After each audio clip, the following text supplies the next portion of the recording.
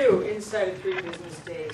There was some effort to clarify what it was, both in '01 and 2012. And this is how I remember it, particularly for folks who are starting out. Three choices in three business days. Choice number one, yes, the records are subject to the Open Records Act, and here they are. That's the answer we all want, the yes response. Yes, the records are subject to the Open Records Act, and here they are. Choice number two, inside the three business days. Yes, the records are subject to the Open Records Act, subject to disclosure. However, they are not available right now. They are in archives across town. They are unavailable. It will take us a while to get them. So the second response is yes, and an estimated timetable of when they will be available. So that's what I call your mid-level response. Yes, and I'll get them to you in 10 days, I'll get them to you in 14 days. Not yes, I'll get them to you in five years. Not going to work. Yes, I'll get them to you in a couple weeks. Third choice is the answer we don't want, the no. No, the records are not subject to the Open Records Act, and the public agency is required to cite the section of the law, the code section, typically under Georgia Code Section fifty eighteen seventy and following exceptions. A basic exception, for example, the medical records of a public employee would not be subject to release, and if the public agency is telling you, no, you can't have them, it has to tell you under what code section you're saying no. So to review, three business days is the time for a public agency to respond, and they have three options inside of the three business days. Yes, there are the records. Two, yes, if the records are subject to release, I'll get them to you in probably two weeks. Three, no, the records are not subject to release under XYZ code section. Something new that popped in in 2012 is rolling production. The idea that if a portion of the records, let's say you're looking for a personnel file and some of it's ready right now or accessible, as soon as it becomes available, that should be made, even if, that should be made available and produced regardless of whether or not uh, the rest of the material is going to be forthcoming. Now what about the basic record? When I walk into the police department, and I always have to laugh about police departments, who's here from Gwinnett? Uh, one of, um, I won't identify who, and frankly, I can't remember who it was. We I got- probably remember. I, I, I, um, got into it with the public information officer of the police department, and she told me I don't know anything about the Open Records Act. I said, okay, that's, that's fine. I mean, it was, um, it was sort of one of those moments when I was like, uh, okay. What about if you want an incident report that is probably readily available? If you walk into the police department and if you, it's there, the agency can't wait the three business days just because the statute says up to three business days. It, it, it, it- it's gotta be released if it's readily available, and it's gotta be released now. You can't, they, in other words, in short, a public agency can't just wait because they're allowed three business days. If it's there and it's ready, it needs to be produced. I know all of you are thinking, yeah, what if you don't get a response at all? And we're gonna save that question till the afternoon, because that's a lengthy one, um, that, uh, everybody, including me, don't forget, I used the Open Records Act in my private practice to get records. Um, so, I've been Stonewall as well, so, um, but in any case, that's the way the Open Records Act is supposed to work. And I understand that it doesn't always work that way, but the three business days, um, and the three choices inside the three business days, rolling production, stuff being made available as, as soon as it, it is ready, and an agency can't use the, uh, three days to hold out on you. All right, wh- wh- what happens though? What's supposed to happen? You know, it's a case I almost litigated about a decade ago the idea of access versus copies, which is going to be our segue to costs. What does our Open Records Act really give us the entitlement to? Does it give us the right to copies? Does it require a public agency to mail things? Or is it an access statute? I'm curious because the answer isn't exactly so clear in the law. How many think it's just uh, an access statute, meaning you get to view record? Just show of hands. How many think it's an access and copying statute? How many don't want to think? I'll wait for the rest of the option. It's copies in your head. Yeah, I mean, you know, it's, it's something that I've actually contemplated writing some kind of legal article on, because it's not, it, it's not as clear, but essentially, the, the Open Records Act in Georgia was written as an access statute. And some, you know, I, the case I almost took, um, the great thing is I remember nothing, which, um, is helpful in many ways, but it was a, a, a woman in South Georgia who did an open records request for something in North Georgia, and the public agency in North Georgia said, sure, come on up. Records are here, ready for you to look at. So I thought it was sort of a, a fascinating question. I mean, it still is. The question, does the agency have to copy the records? And we'll talk about what to pay for. And that's something also that I might want to save for the afternoon, because I mean, no one ever wants to hear your question. I love telling clients how interesting. Nobody wants to hear it interesting, because that means there's no answer.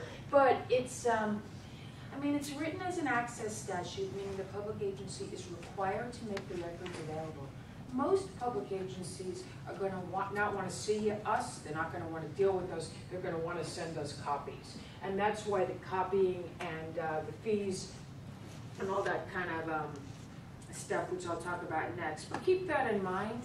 One of the new things from two thousand twelve that I like very much is you get to bring in your own phone, snap pictures, all of that's sort of in the statute now. Um, I mean, it was always sort of, that- it was always, that was the way some people did it, but it's pretty clear. You can bring in your own copying device now, and you can make your own copies. And you can do, um, copy uh, as you like. But traditionally, certainly in Georgia for the past few decades and most other states, there has been a schedule of costs and, um, a copying, um, mechanism. Who knows um, what it is today in Georgia? How much can an agency charge per page? That's correct, up to ten cents. I might point out to you that you might ask for the cost to be waived, and many public interest organizations do. What was the law uh, until uh, April 17, 2012? What was the per cost per page? Up to 25 cents. I bring that up to you for a, um, something where you could see that the media, who is very interested in open records and meetings issues, its interest often diverges from the public's interest. The media made a trade at this negotiating table in 2012 for the 10 cents per page. The media said, look, Kinko's, you can copy documents for 3 cents, so we don't need up to 25 cents per page. But they traded, and I, so when I say they, we, the trade was redaction. Now, a public agency allegedly can charge when it redacts the names, social security numbers. I wasn't happy about that. I, um, in many cases, that has been one of the very public alleged triumphs of the media and the public interest, that the cost per page is down from up to twenty-five cents per page, down to up to ten cents per page. The point is, you will get, and you should ask for a fee estimate, and it should say to you, pages times up to ten cents, and then uh, reasonable search and retrieval fees based on the hourly rate of the lowest paid person capable of doing the work. Meaning, you can charge for some staff time in getting the records out. Does that mean county attorney time? Not to pick on Gwinnett, but great case from the eighties out of Gwinnett County where uh, it it was You Trammell don't pick on Gwinnett, we do. was was Trammell one of your officials in the eighties, T R A M M E L L? Case was something named, There's a lawyer Trammell. okay, yeah, I think his name is in the st- style of the case.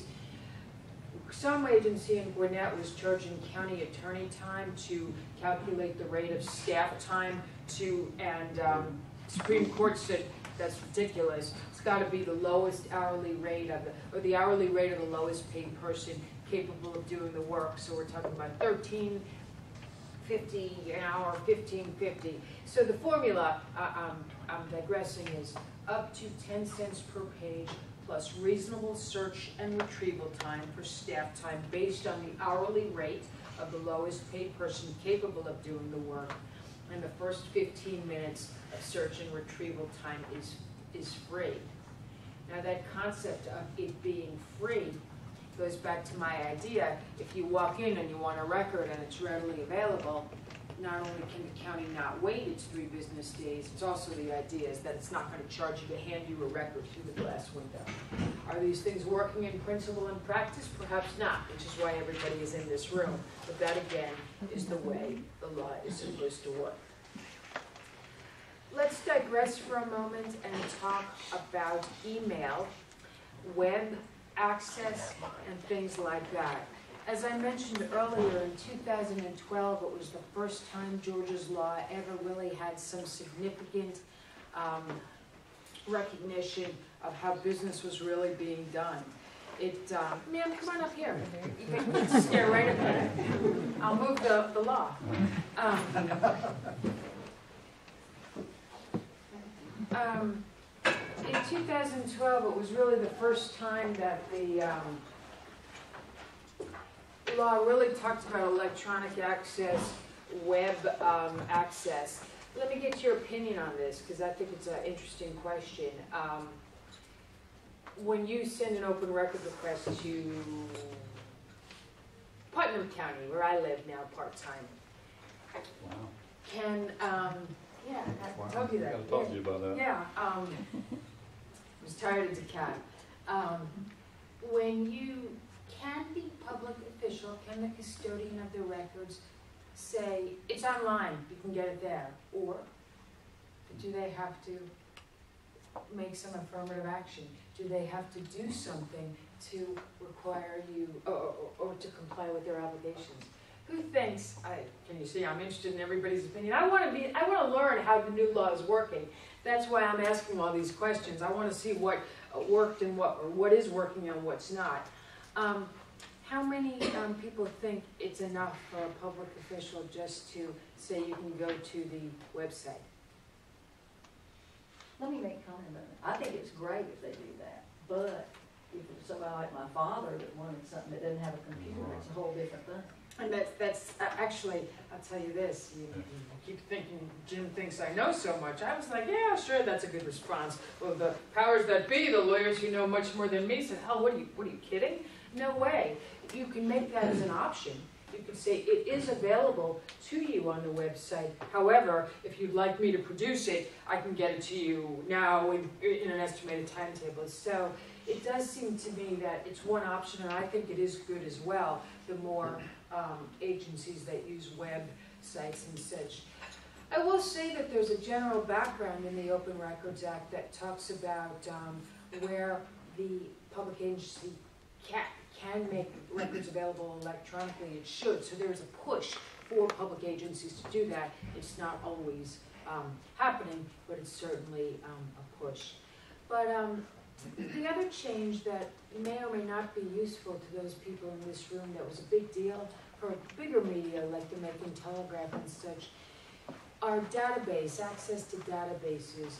It, there used to be some great stories in, for those of us who do this work where a sheriff in South Georgia said, yeah, come on, you can have access. Here, sit down at my computer. Well, nobody knew how to work the program that he uh, had kept his data on until he pretty much, I mean, that was obviously not real access. So there was a push and a stress that the law um, would say access needs to be reasonable access, real access, and there's this thing in the law that's a good thing, and I'm gonna come back to databases, that says public agencies do not need to create a record where it is not already available. But that, so if you ask for something on a database, and it would only require one keystroke for the public agency to manipulate the data, there's some clarification now in the law that as long as it's not a new program, but it's just putting the data in the format that you want, that, um, that the public agency needs to do that. That's not considered creating a new, um, record. And if you wanna talk more, um, specifically about that after lunch, we can. There's a whole code section there. It was actually written by some of the database editors at some of the dailies around the state that talked about that. Because that was a real stonewalling tactic where folks would ask for a list of names and uh, the public agency would write back, well, I just have a database, it's got everything, so I don't have a, a document with just the names. So you see how, um, in any case, um, let's see, I only have ten more minutes on Open Records Act, so let me touch to you, I could talk about it all day, I could put you to sleep about it all day, but let me talk about two more, three more topics, and then we'll turn to uh, meetings. Custodians of the record. Remember I told you and you know that the beginning process, the trigger, the impetus is you file an open records request and that starts the process. Well, there's always been sort of a vagueness in the law. Who does that open records request go to? And I, um, would always say in a fallback position, um, write to the chief, write to the police chief, or write to the city manager. The 2012 version of the law, again drawing on FOIA, the federal act, instituted this idea of a designated custodian of the records. And I don't know whether I think that's a good thing or a bad thing. And I was talking with someone about that before we started. That means that there is somebody in every public agency designated to be the person to respond to open records requests. Now, on the one hand, that could be a good thing, because somebody allegedly knows a lot about open records requests. On the other hand, as the question was put to me, what if that person is out of the office? The way it's supposed to work, and I've been in all these technical discussions, um, well, you could put something on your email saying, um, I'm out of the office to this day, and go bring your request to so-and-so. I think it's not as simple a question. I don't have data yet, I don't know how many agencies have decided to designate a records custodian, but to the extent that your jurisdiction uh, has decided to do that, they need to publicize it. In other words, you need to put on the county or city's website who that person is, how to reach them, this or that. You can't just say there's somebody and not tell anybody who that is. But I'd be interested in hearing in the afternoon how many jurisdictions all of you are working in and whether or not there have been public records custodians designated. Because I, I, I was unsure in my mind when discussions about this took place in 2012 whether or not that was a good thing. So let me roll back, talk about one more topic, and then talk about what you mostly are probably here for, remedies under the law or lack thereof. So the process is simple. I, I I shouldn't use that word. We know it's not simple. It's supposed to be simple. All public data is subject to the Open Records Act and release, with certain exceptions. You start the process by way of an open records request. There are three business days in which to respond, and three choices for the public agency to respond, the yes, the yes in a certain, an estimated timetable, the no. Public agency has, is able to charge up to twenty-five cents per page for copying, plus reasonable. See? Uh, up to ten cents per page, see, remember, doing this too long, time to retire. Um, The, um, and, uh, up to ten cents per page, plus reasonable search and retrieval time. We talked about custodians of the records.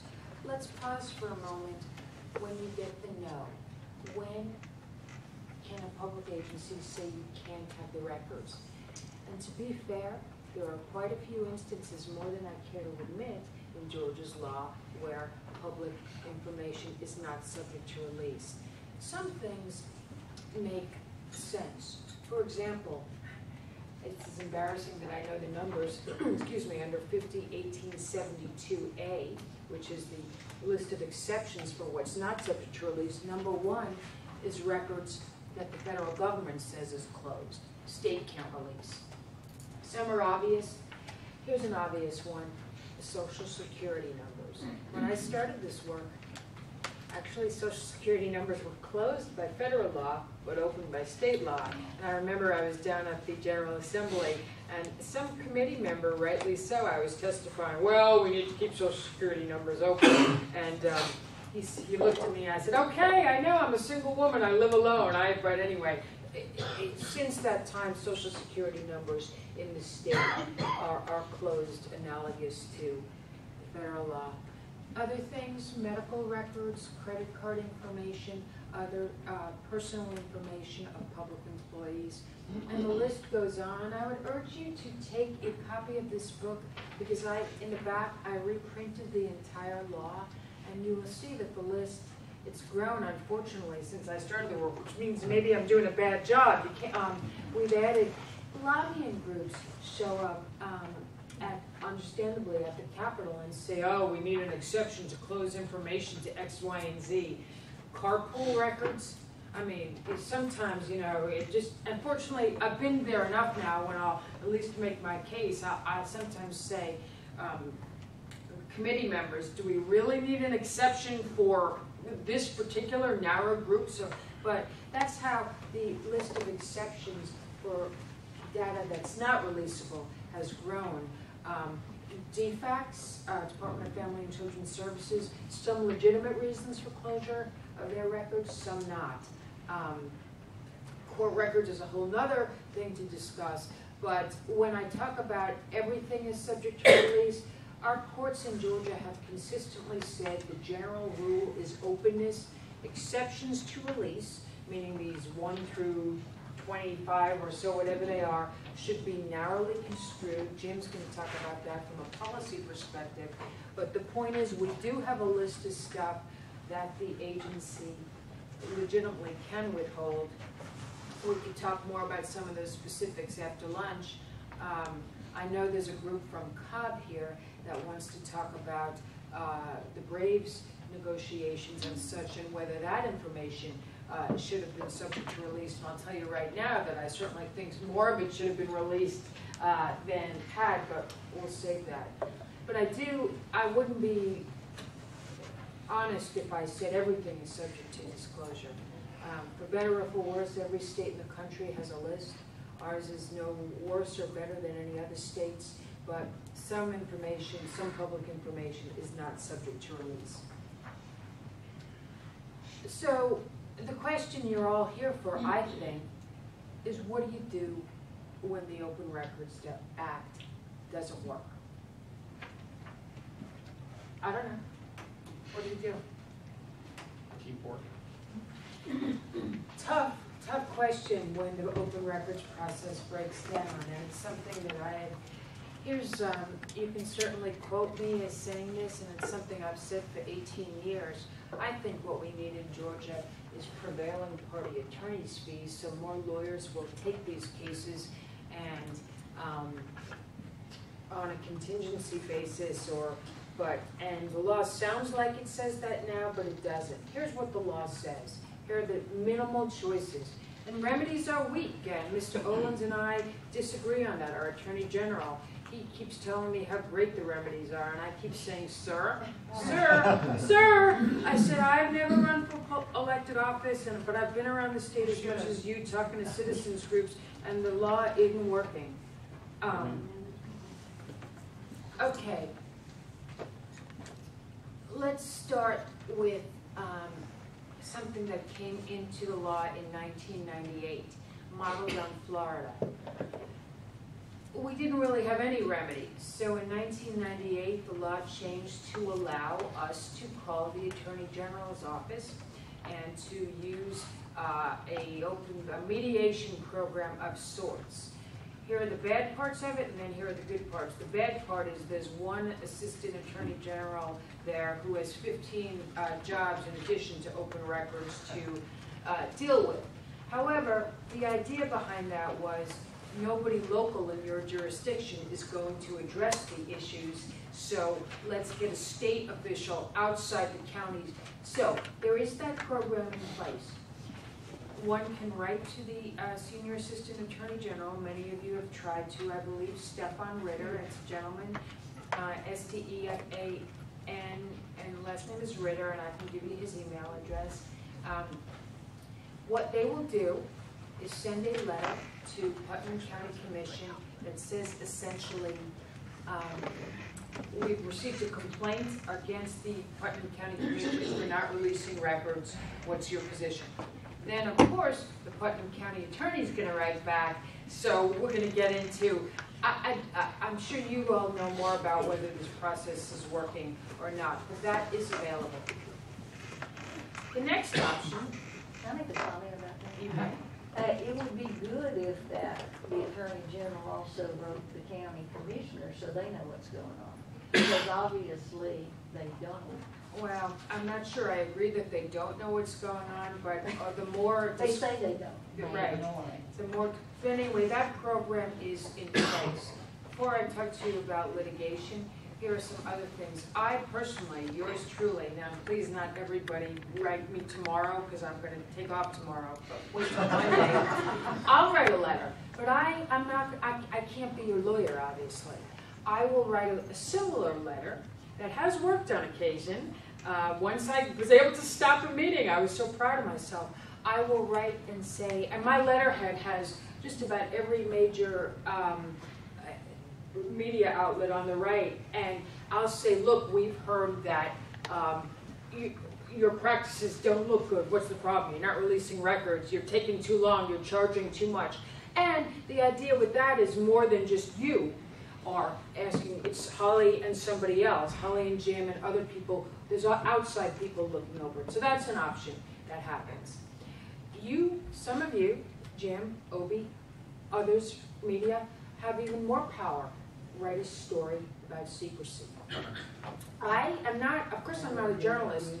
I don't, I don't subscribe to the thought that covering transparency is a conflict for the media. I think some media folks subscribe to that theory. Again, I'm not a journalist. I don't think so. Short of all those perhaps ineffective, perhaps effective, uh, sporadically useful remedies, what do we have? Not much. Number one, a lawsuit in the Superior County of where the alleged violation takes place. Now, is it practical to sue for the minutes of a meeting? No. Who can afford it? Not I. The point is, Superior Court litigation is um, an option. It, it, it's the most tangible option on the books right now. It's there. You know, if you, um, there, are there any lawyers in the room besides me? You, know that um, there's ton- tons of case law in every other jurisdiction. There's this much case law on open records and open meetings, case law, meaning very little litigation. The only um, entities that could afford to litigate these things were the big media change. So you get the, it's obvious that litigation isn't a practical or effective remedy, but it's certainly there. And um, one um, kid, and he is a kid, he's uh, trying to get into law school, or he was, did a great case against the city of Atlanta on an open meetings violation. Matthew Cardinale, if anybody knows him, um, did it pro se, did it himself, and uh, I filed a couple of amicus or friends of the court brief, but um, he did a great job in trying to make the city of Atlanta City Council conform on open meetings violations. It can be done, but it's not easy and it's not practical. The other remedy that the law contemplates is even less so, and David Hudson and I, we had a big laugh once. David Hudson is the gentleman referenced also, probably taught me everything I know, um, and, and some others did as well, about how many criminal prosecutions there were under the Open Records and Meetings statute since the sixties, and I think we counted four. Yeah, I mean, so the idea is that, um, the solicitor, state court, or the district attorney, it's unclear to me in the law, does have jurisdiction to cite the public official for wrongdoing.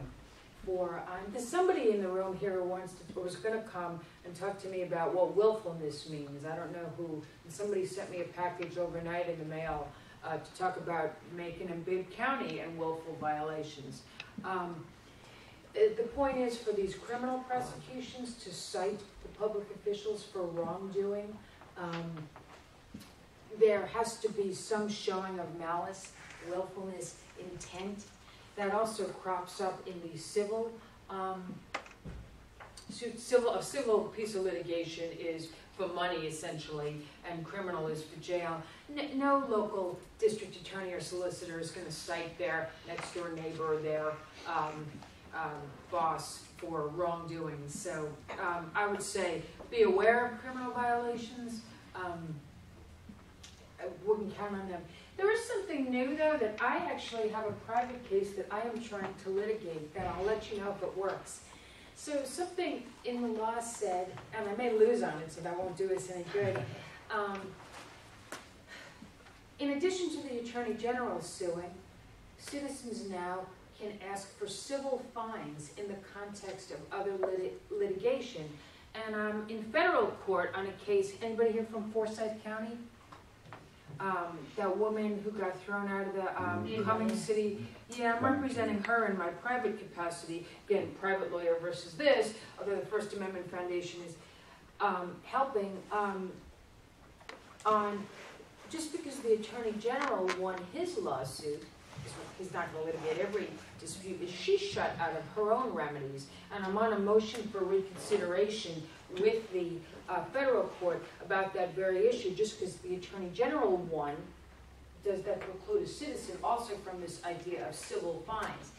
Even if I win though, I don't know whether that, I mean, is a thousand dollars, twenty-five hundred dollars a real threat to any public agency? We're paying it as the taxpayers, but in any case, I trans, what's the word? I move on, although I'm gonna ask you to say a few words so I can have my coffee, and then we'll move on to open meetings. I leave you with the thought that I am unhappy too about the remedies, um, for open records and meetings violations. I don't think they're good, and again, this is where Mr. Olens and I seri- have serious disagreements, because he keeps telling me the, um, cracked his teeth, and I literally keep jumping up and down, are you kidding me? Uh, but, uh, that aside, there's more work to be done on that, um, anybody interested? Um, and, um, but I don't have a lot of good news on that, other than people like Jim fighting the good fight, um, and others trying to, um, do enforcement. You wanna say, or why don't we do a couple questions? Sure, And then sure. meetings, so I can, Yes, questions relative to records.